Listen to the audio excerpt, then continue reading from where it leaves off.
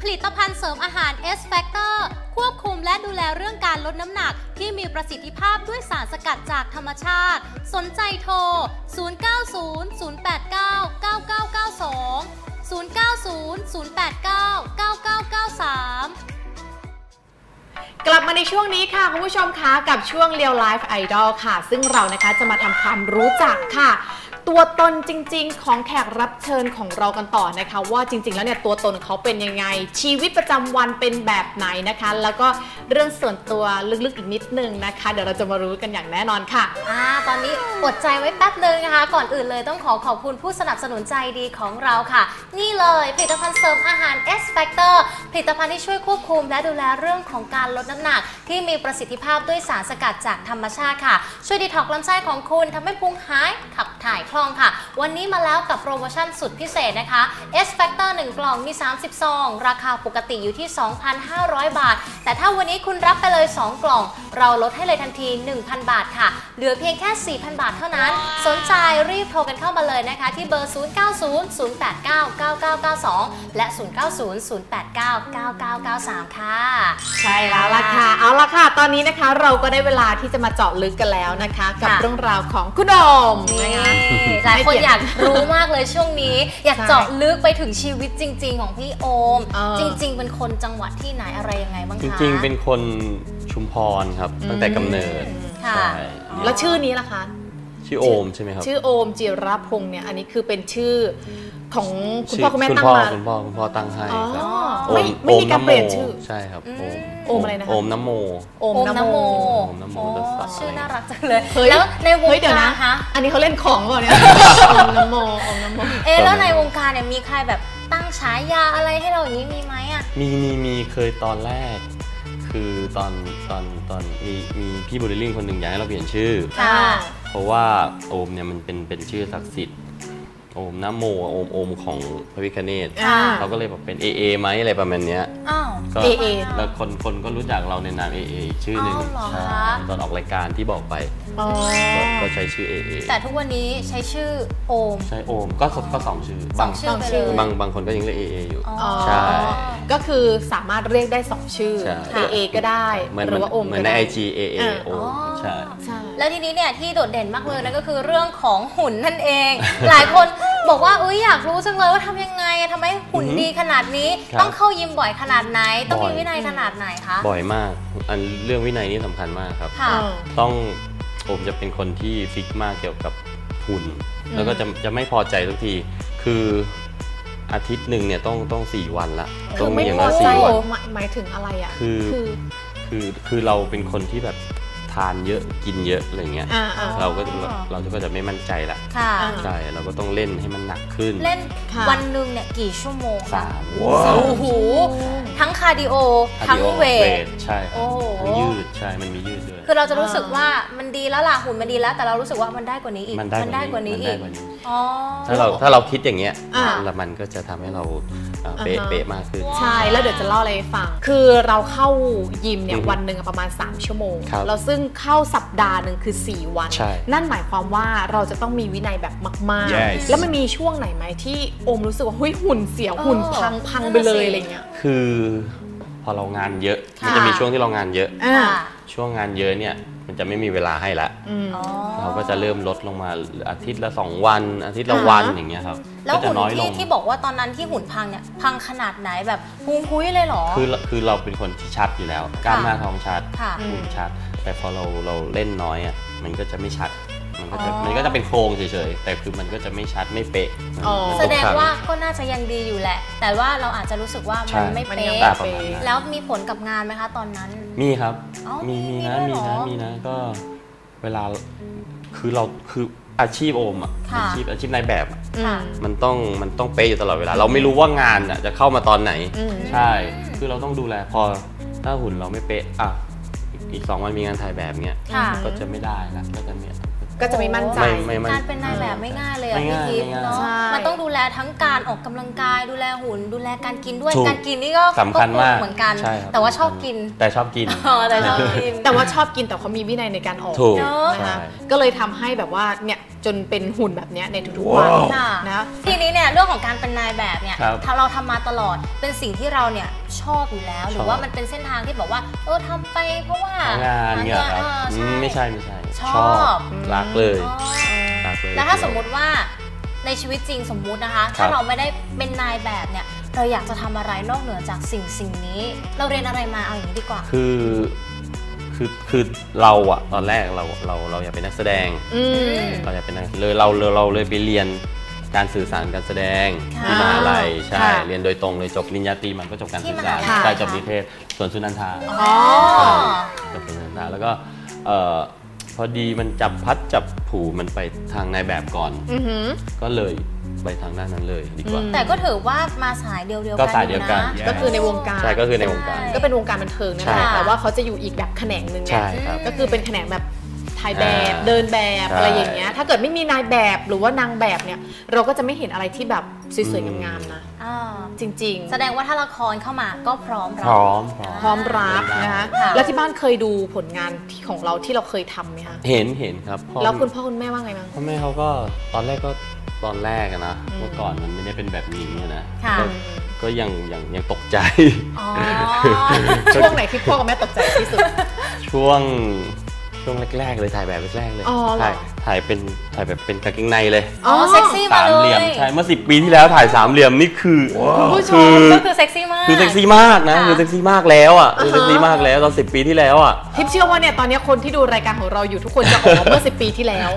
เพราะว่า 10 ปีที่แล้วเขาไม่ได้เปิดแบบนี้ใช่ไม่ได้เปิดแบบนี้โลกมันไม่ได้เป็นโลกแบบไม่ได้เป็นแบบนี้ตอใช่ครับ มันเปลี่ยน ผู้หญิงนางเอกอะอืมนางเอกใส่ใช่ ใส่ใส่เสื้อใส่เดี่ยวใส่ใส่นิดเดียวนะใส่ชุดโอ้ว่ายน้ำนิดเดียวแบบใช่ไม่ได้เลทูย พีทอะไรอย่างงี้ก็ถูกวิไม่จารได้ณ์เลยแล้วใช่ใช่เก็คือตอนนั้นคือเรามีการคุยและปรับความเข้าใจกับครอบครัวยังไงอะคะคือ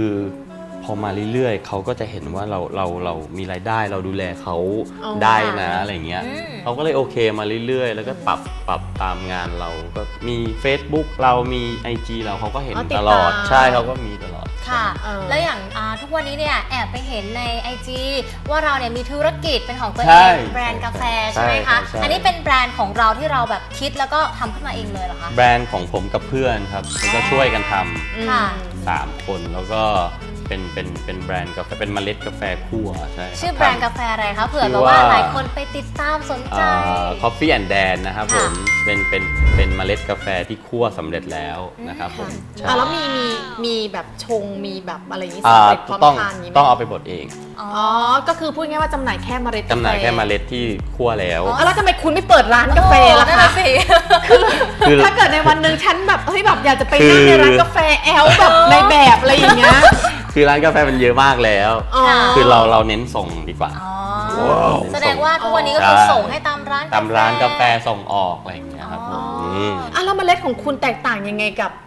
ของยี่ห้ออื่นหรือแบรนด์อื่นเอ่อถามว่าแตกต่างไงแตกต่างครับผมผมเออผมจะอ่ากาแฟก็จะมีดอยนั่น ดอยนี่ดอยนู่น ถ้าเกิดโอมตอบว่าผมคั่วเองนี่ตีเลยนะเอาจริงๆไม่ถ้าไม่เกิดตอบไม่ว่าอ๋อแตกต่างครับ ผมคั่วเองนี่ผมตีจะเลยผมจะทำอีกสไตล์หนึงค่ะเป็นสไตล์อิตาเลียนอ๋อตามหน้าตาเราอะไรอย่างนี้เข้มๆมาสิไม่ใช่คะเข้มๆมีหนวดอะไรอย่างนี้ทำไมมองอย่างนั้นน่ะต้องแต่งหน้ามีผัดมีอันนี้ มีแกงไตปลาอุ้ยอร่อยอย่างนี้เลย ใต้เลยใช่ไหมใต้เออใต้ใต้ใต้ใช่ก็คือคุยกับเพื่อนเขาก็เห็นเออเราว่าเออ มันอยู่แบบเหมือนฝรั่งนะอะไรเงี้ยก็เอก็อทำ เหมือนสิแต่เหมือนเหมือนอืม มีมีมีมีความคล้าย ก็ทำแบบสไตล์อิตาเลียนไปเลยอะไรอย่างเงี้ยเออเราก็เลยแตกต่าง อ๋อ จะไม่ไม่เป็นดอยไม่เป็นดอยนะ เออเออใช่ ไม่มีดอตอนยแรกเห็นนึกว่าเป็นลูกครึ่งสรุปอ่าไม่ใช่ใช่ไหมคะไม่ใช่ครับค่ะเป็นคนไทยได้แท้ๆเราก็เข้าใจว่าเอาเป็นลูกครึ่งไม่ใช่เนาะ ไทยแท้ก็คือขายก็คือเป็นธุรกิจธุรกิจหนึ่งที่ทำกับเพื่อน ใช่ค่ะก็คือทำบจำหน่ายแค่เมล็ดกาแฟ แต่ถ้าใช่เกิดคุณเข้าไปแล้วเนี่ย คุณจะติดดอยทันที ใช่ เพราะคุณจะเพลิดเพลินกับการแบบ เฮ้ย เฮ้ยช้อปปิ้งเมล็ดกาแฟ อ๋อ อ่ะแต่ว่านี่ก็คือเป็นเฮ้ยนะอันนี้เป็นธุรกิจหนึ่งที่ทำอยู่นะทุกวันนี้เปิดมานานแค่ไหนแล้วเพิ่งเปิดเลยครับเพิ่งเพิ่งอ้าวเหรอเพิ่งร้านสองเลยตอนธันวาปลายธันวาเองคือเราค่ะเตรียมทำสร้างสร้างโรงงานสร้างโอ้โหสร้างเออออฟฟิศอืมอืมก็มาปีนึงละค่ะแต่คือก็เลยแต่ปันเพิ่งออกเมื่อเมื่อปลายปีที่แล้วอ๋อแสดงว่าเราก็เน้นจำหน่ายในไทยแล้วก็ส่งออก ใช่ครับแล้วเราทำยังไงควบคู่กับ วงการใช่ของเราใช่ที่ทำอยู่ก็คือนายแบบเนี่ยคือเราคือเออคือคือคือผมคุยกับเพื่อนละเพื่อนบอกว่าคุณทำไปเลยทางด้านนี้มันจะได้เป็นตัว support ช่วยอ๋อค่ะใช่ดีค่เพราะอะไรดีรู้ไหมเพราะว่าแฟนๆน่ะกลัวว่าเฮ้ยเดี๋ยวโอมไม่ทำงานใช่ธุรกิจของโอมแล้วใช่เดี๋ยวโอมจะใช่ fade ตัวหายไปเองออกไปเออใช่ คือเราเราคิดจะ fade ออกไหมไม่ไม่ไม่เอาไม่สักสักอีกสักสามปีสี่ปี วิอ๋อไม่ตั้งเป้าหมายไว้จริงตั้ๆงแล้วเป้าหมายโอมไว้ประมาณตั้งเป้าหมาย40 ก็ได้นะอืมใช่จะไหวเหรอจริงมันจะดูไม่ดีนะ เห็นอาวิทย์ไหมเห็นพี่วิทย์ไหมเออเออพี่วิทย์เอ้ยอันพี่นั้นวิทย์พี่วิทย์เอออันนั้นอะพี่วิทย์พี่วิทย์คือสไตล์คล้ายกันไงอืมอ๋อพี่ชายพี่ชายเอาเหรอพี่ชายพี่ชาย อ๋อ นั่นแหละสไตล์คล้ายกันค่ะก็คือแบบเราสามารถที่จะดำเนินต่อไปได้ครับถ้าวันไหนแฟนคลับไม่ไล่ออกเนี่ยไม่ต้อง โอ้ยไม่ไล่ออกหรอกค่ะพี่ทิพย์ค่ะ มีผลงานดีๆออกมาเออให้เห็นตลอดเลย ตอนนี้ก็คือรับเทรน รับเทรนด้วยอ๋อถ้าอย่างพี่ทิพย์บอกว่าอยากจะเทรนค่ะปได้เลยครับได้มาเลย แต่ถ้าเกิดโอมบังคับนี่คือกรี๊ดเลยนะเอาจริงนี่เป็นคนบังคับไม่ได้ใช่ไหมยกอีกเห็นไหมยกอีกยกอีกเห็นไหมก็จะมีแต่ละคนก็แตกต่างกันไปๆใช่ เพราะว่าแต่ละคนเนี่ยคือแบบเราก็ต้องรู้เทจุดรนขอมางหลายเขา อันเนี้ยเคยเทรนมาหลายอ่าเทรนเนอร์แล้วใช่ค่ะ จนแบบว่าพี่ทิพย์เดี๋ยวผมส่งต่อให้เพื่อนผมมาดูพี่นะเอาไม่อยู่ใช่ไหมพี่ทิพย์ก็เอาพี่ทิพย์ไม่อยู่ เอาไม่ เออยู่อก็เลยบอกใช่ ไปไหนอะบอกอ๋อเดี๋ยวคือช่วงเนี้ยผมไม่ว่าง ใช่ ค่ะ รู้ว่ามันว่างแต่ไม่อยากเห็นเขาพี่บายบายเรียบร้อยแล้ว ใช่ดื้อจริงดื้อ ดื้อ ดื้ออันนี้ดื้อ ดื้อดื้อันนี้คือเรื่องจริงนะมันเออคือแบบน้องอะนะมันก็ห้ามบอกเออพี่ห้ามกินอันนี้เนี่ย เราไม่ได้เราทำไม่ได้เอใช่อพี่ต้องถ่ายรูปให้ผมดูไม่ได้มันโอ้โหมันไปบังคับผมเออคือแบบพี่ต้องถ่ายให้ผมดูนะเราต้ว่าองมีอีกวิธีสามมื้อเนี่ยพี่ต้องกินอะไรใช่อุ้ยพี่กินเยอะมากเลยแต่ตื่นมาเคี้ยวไม่หยุดเลยอะแล้วอย่างคือแบบพี่โอมอะดุไหมดุแบบเออเป็นไม่ดูหไม่ดูไม่ผมก็จะเหรอมีอีกวิธีหนึ่งที่ก็จะเข้าหาทิปใช่อ๋อจะไม่บังคับเราจะไม่บังคับไม่บังคับอ๋อไมจีหุ่นเพลเลยนะจ๊ะ อะแล้วอย่างนี้คือมีผู้หญิงหรือผู้ชายที่มารับเทรนกับโอมมากที่สุดมีทั้งคู่เลยครับ อ๋อเหรอ จริงจริงมีทั้งคู่เลยค่ะ ตอนแรกคิดว่าผู้ชายจะเยอะแต่ผู้ชายน้อยกว่ามีผู้หญิงเข้ามาเยอะกว่าใช่อ๋อ น้องๆอะไรเงี้ยพอกันเลยเนอะพอกันเลยใช่ ค่ะ เอาล่ะ ใครสนใจติดต่อไปได้นะคะ เป็นอีกธุรกิจหนึ่งของพี่โอม ทีนี้เป็นธรรมเนียมของรายการเรา ไม่ถามไม่ได้เรื่องของเฮ้ยหัวใจ อ๋อ เกิดมาแล้วตั้งแต่แรกบอกว่ามีแฟนแล้ว มีแฟนแล้วมีแฟนแล้วคบมานานมีแฟนแล้ว แค่ไหนแล้วคะ เอ่อปีหนึ่งครับอู้ หนึ่งปีปีหนึ่ง หนึ่งปีเต็มอ่าค่ะ ได้หนึ่งปีเต็มก็ happy hap ก็ชีวิตคู่อะเนาะอ่า ค่ะ ก็ยังยังไม่ชีวิตคู่ขนาดนั้นก็เป็นแฟนกันอะเนาะอ่า ก็เป็นแฟนค่ะกันก็ยังมีทะเลาะกันบ้างอะไรอย่างเงี้ยอะครับแต่บางคนบอกว่าอะมีแฟนแล้วไม่เป็นไรแต่อยากรู้สเปคอะสเปคของเราเป็นคนยังไง สเปคผมจะขาวอืมข่าวไว้ก่คุอนณคะ คุณตอบเหมือนคุณมีปรมนะคะ คุณจะมาบอกว่าผู้หญิงขาวอย่างนี้มันไม่ได้ คุณจะต้องเลือกแบบๆอ่าหมวยหมวยขาวขาวอ๋อโอ้ยหมวยขาวขาวหมวยขาวโอเค พี่ได้อยู่นะพี่แซ่ตั้งนามสกุลแท้ตั้งเอ้ยจริงๆแซ่จตั้งริงๆกับแท้ตั้งเหรก็คือเออจริงๆอันนี้ไม่ไม่ได้ได้พูพูดดออมรู้หน้าไม่ได้พูดเล่นนี่คือเรื่องจริงเออชอบขาวๆหมวยหมวยอ๋อไปหน้าใหญ่ๆอะไรเงี้ยจบแล้วประมาณนี้หลายคนแบบว่าได้ยินเสียงอกหักจากทางทีวีนะคะคุณผู้ชมบอกฉันไฟหน้าไม่ใหญ่เลยแบบอกหักดังเปาะเปาะเปาะไปหมดแล้วอะเออเราจะเออเอาเป็นว่าใครที่ใครที่อยู่ในเกณฑ์เหล่านี้นะจ๊ะก็ขอแสดงความยินดีด้วยนะอะแต่ว่านั่นก็คือเป็นเรื่องของสเปคไปอ่าครับผมนะสคะเปคแต่ว่าในทุกวันนี้ก็คือก็อืมก็อืมอืมศึกษาอยู่ก็ศึกษาอยู่กัครับก็ศึกับกษาอยู่ อีกคนหนึ่งอยู่นะคะใช่ค่ะแต่ว่าอนาคตอะไม่มีใครรู้หรอกไม่มีใครรู้ไม่มีใครรู้แน่เอ๊ะติดได้ดีมากคนนี้ ไม่แน่ไม่แน่ไม่แน่โอมแบบเฮ้ยสามสิบห้าโอมจะแบบว่าอ๋อเออเออเออจริงจริงเปลี่ยนสเปคจริงใช่ไหมจริงเปลี่ยนสเปคจริงจริงความคิดนี่นาอันนี้พูดเลยความคิดเปลี่ยนนานละค่ะเปลี่ยนมาปีนึงแล้วว่าความสบายใจละอ๋อทุกเดี๋ยวนทุกวันนี้ความสบายใจละคุณคะ เปลี่ยนมาปีนึงแล้ว ขอแบบขาว แล้วก็ออกไฟไฟหน้าใหญ่ๆมันเปลี่ยนแล้วเหรอ คือแสดงว่าก่อนหน้านี้อันคืนั้อนมัคืนอจะต้องแบบไม่อันนั้นคือสเปคอันนั้นคือสเปคไง อ่าๆแต่ทุกวันนี้คือความสบายใจละแบบอ๋อ ยังไงก็ได้ ยังไงก็ได้ ที่เราอยู่ด้วยแล้วที่เราอยู่ด้วยแล้วสบายใจใช่ อมคิดถูกแล้ว จริง เพราะว่าต่อให้สวยแค่ไหนเนี่ยมาอยู่กับเราแล้วเราไม่สบายใจถูก ก็แบบค่ะถูก็กไปกันไม่ได้ ถูก ใช่ Yes แต่ใครอยู่กับพี่นะ สบายใจทุกคนเลยจริงเหรอ จริงพี่เปย์หนักมาก แล้วทำไมเทรนเนอร์เขาไม่อยู่กับพี่ทิพย์อะเขาไม่น้อสงมันบายไม่ใจอดทนพี่ น้องมันไม่อดทน อ่าแล้วทุกวันนี้อะไรคือความสุขของเราคะเออ อย่างที่บอกครับ งานขงานอ๋อกัไม่ใช่เหรอ งานกับความสบายใจอ๋อ อ๋ออันนี้ก็คือเป็นความสุขที่สุดของความเราสุขแล้ที่สุดวของเราแล้วผมค่ะว้าวใช่ก็ถือว่าเป็นอีกเรื่องราวนะที่เราเนี่ยก็ไปลงลึกถึงชีวิตจริงของพี่โอมกัน ตอนนี้ก็พอจะรู้กันบ้างแล้ว แต่ตอนนี้เนี่ยคอแห้งมากๆเลย ไปจิบ S Factor กันหน่อยดีกว่านะคะ ต้องขอขอบคุณผู้สนับสนุนของเราค่ะผลิตภัณฑ์เสริมอาหาร S Factor ผลิตภัณฑ์ที่ช่วยควบคุมและดูแลเรื่องของการลดน้ำหนัก ที่มีประสิทธิภาพด้วยสารสกัดจากธรรมชาติค่ะ ช่วยดีท็อกลำไส้ของคุณทำให้พุงหายขับถ่ายคล่อง วันนี้มาแล้วนะคะกับโปรโมชั่นสุดพิเศษค่ะ S Factor 1 กล่องมี 30 ซอง ราคาปกติอยู่ที่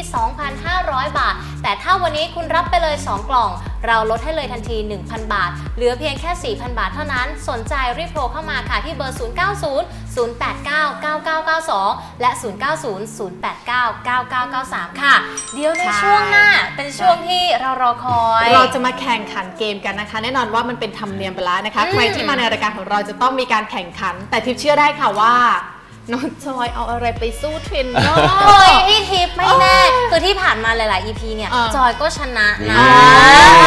าเดี๋ยวต้องดูกันว่าเดี๋ในยวดูวีเดี๋ยวดูคนี้เนี่ยอาทิตย์นี้พี่ค่ะโอมหรือว่าครับผมจอยใครจะชนะใช่ค่ะพบกันในช่วงหน้าสำหรับช่วงนี้พักกันก่อนค่ะ